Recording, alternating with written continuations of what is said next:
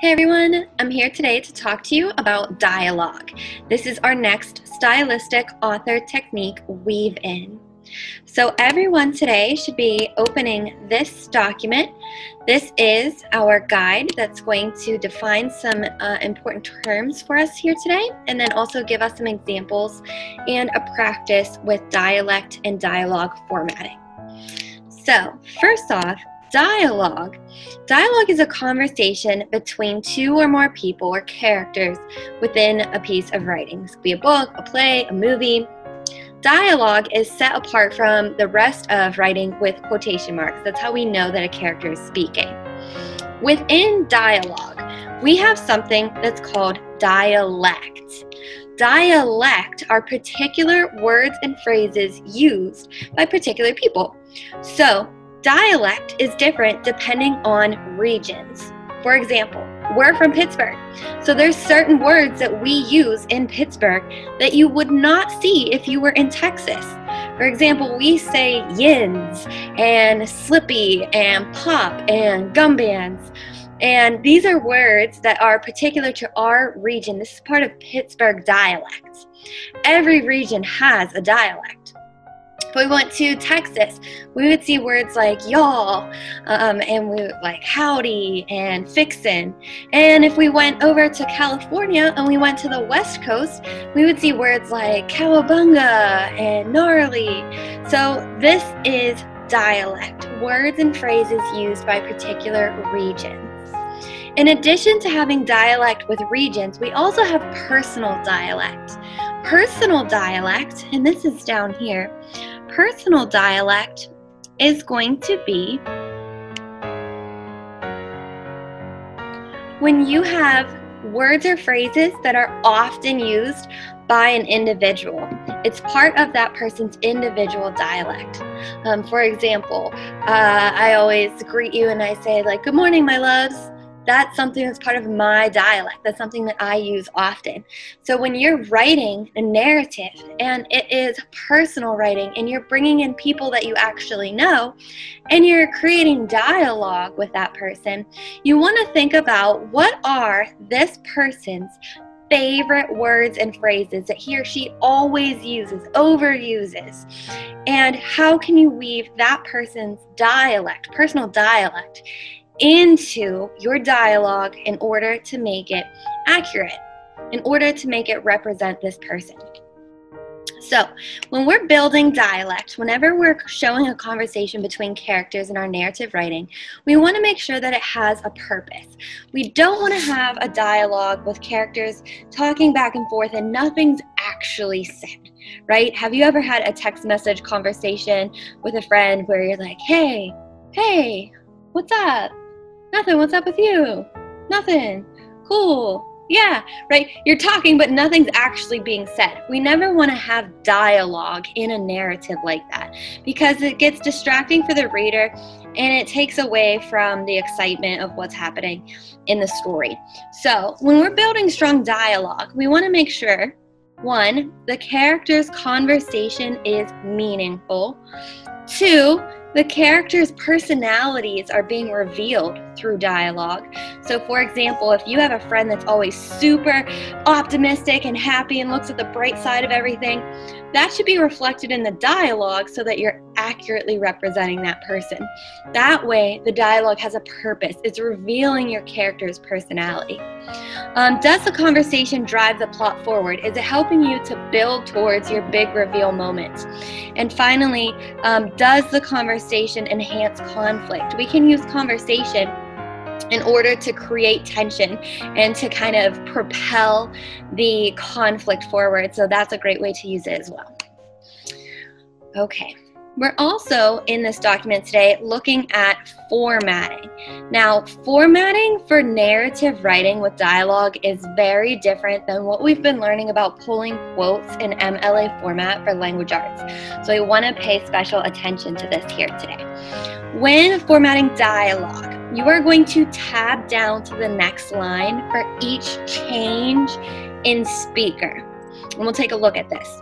Dialogue should be in quotation marks, and they should, unlike quotes for MLA format um, in our analysis writing, dialogue is going to end with commas inside the quotation marks, unless it's a special character such as an exclamation point or question mark, because we need those to show emotion.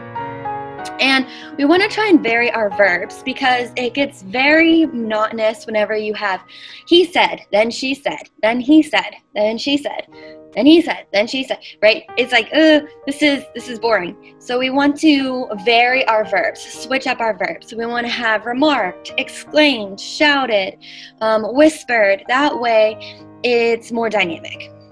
Okay, so um, here's just a little example. Notice I have my first character speaking. I didn't think this experiment was going to be successful. Notice we have a comma inside the dialogue there. And this is a varied verb, exclaimed Johnny. Now I have a change in speaker. I'm tabbing down to the next line.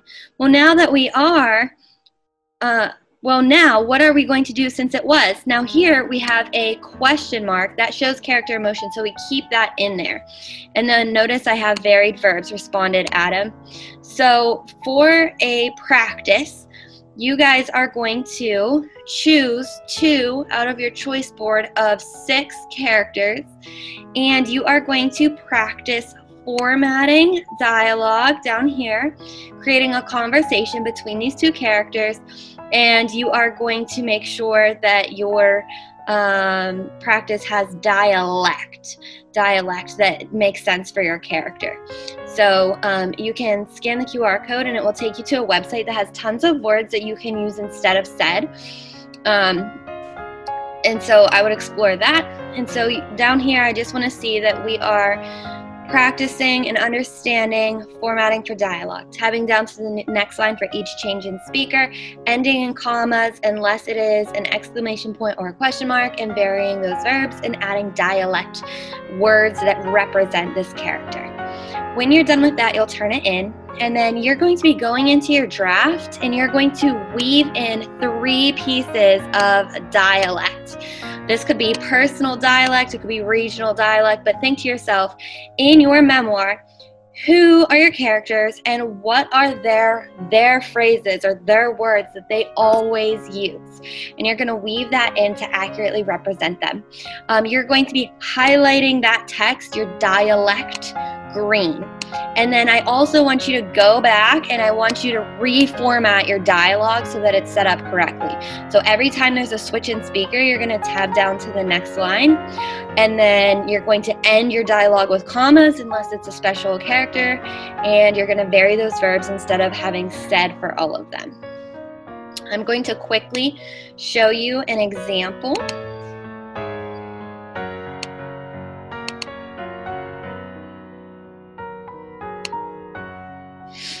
Okay, so this is a memoir with dialogue, and this is not how you're color coding yours. You're color coding your dialect green, and then you're just reformatting your dialogue. But I color coded a change in speaker, different colors, so visually you can see what I'm doing here. So I am speaking in green, my best friend is speaking in blue, and we're going to take a look at how this is set up.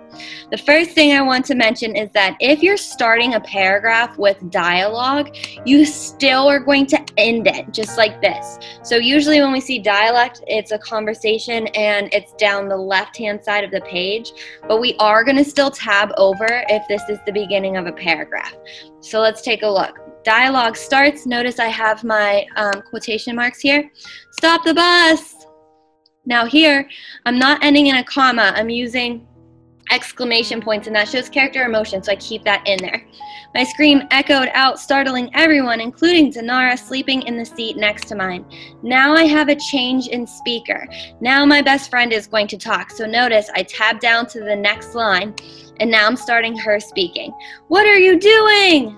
Again, this shows emotion, so I'm keeping those in there. She yelled back at me, punching me a little too hard in the arm. And now I'm going back to me speaking. So we have another switch in speaker. So again, I'm tabbing down to the next line. It's here. I knew it would be here. Look out the window. Now, here I didn't end with an exclamation point or a com- or a um, question mark, so I'm ending it with a comma. So remember, when you get to the end of dialogue, someone's speaking in narrative writing and it's not a special character, you're going to end with that comma in there. I pointed with exploding enthusiasm. Now, notice here, if you finish dialogue and you want to continue writing with the paragraph, you can do that. So you're going to continue straight from the dialogue and do some writing here. She crawled over the sea and shaded her eyes from the glare on the window glass. Immediately, laughter burst out of her like those tasty cinnamon rolls out of the canister. Now, look, this is still me speaking. It's not a change.